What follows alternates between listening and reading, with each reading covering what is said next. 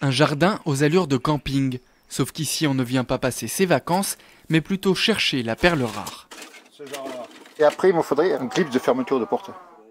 Fenêtres, verrous ou pneus, dans l'atelier de l'association, il y a presque tout, pour le plus grand bonheur des propriétaires de caravanes. Beaucoup de caravanes sont vieilles. Et pour avoir des pièces de vieilles caravanes, il faut, il faut quelqu'un qui récupère les vieilles caravanes, qui les démonte et qui vend des pièces. C'est comme une casse voiture. Jeter le moins possible et réutiliser un maximum, c'est la philosophie de Denis Levaux. Il récupère des caravanes auprès de particuliers et les désosse méticuleusement. Et ce joint, il va resservir euh, pour euh, quelqu'un qui a une caravane, avec, même si c'est pas tout à fait la même dimension. Quand il s'est lancé il y a 10 ans, il cherchait une simple vitre. On a commencé à rentrer une caravane euh, qui avait la vitre qui nous correspondait. Puis on a revendu le reste et on s'est aperçu qu'il y avait beaucoup de gens qui étaient embêtés dans le discours, ça s'entendait quoi. Oh génial, ça fait deux ans que je cherche, on trouve pas.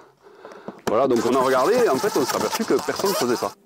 Lorsque les remorques habitables sont encore en bon état, il les réhabilite pour les vendre et financer l'association, mais aussi pour en faire profiter les autres.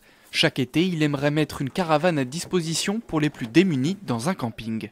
Ça serait une caravane typique euh, des vacances solidaires, c'est-à-dire que les gens qui viennent dedans, en fait, c'est euh, une famille euh, monoparentale qui a divorcé, qui n'a pas trop de ronds et qui part jamais en vacances. Il y a une chambre à chaque bout, donc c'est séparé, il y a plus d'intimité. Les gamins d'un côté, le parent de l'autre. Avec une quinzaine de caravanes dont il doit encore s'occuper, Denis Levoix a de quoi allier ses désirs d'écologie et de solidarité.